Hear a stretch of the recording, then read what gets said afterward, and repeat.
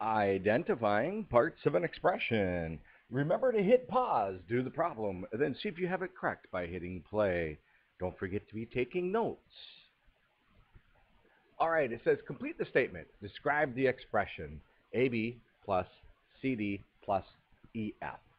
Well, I'm going to tell you this right now.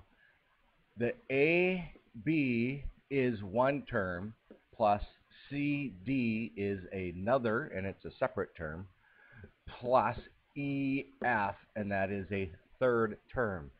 The addition or subtraction signs are what separates terms.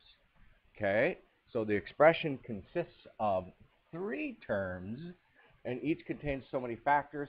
Factors, remember, are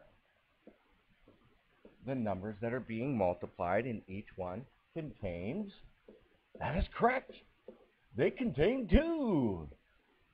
All right, let's check the next problem. What is the coefficient of the term 3x in the expression 3x plus 6? The coefficient is the number part of a variable. So in this problem, 3x, the coefficient is 3.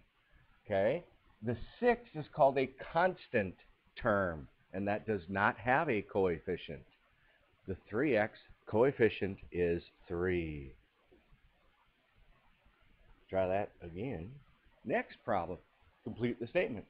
All right, just like we did it before, we have one, two terms. The expression consists of two terms, and each term contains a b, that is two factors, and c, d, that is two factors, so it consists of two factors. What is the coefficient of 9y? Hopefully, you know now that the coefficient is the number part of a term. So the coefficient is 9. Ooh, that's it. Good luck.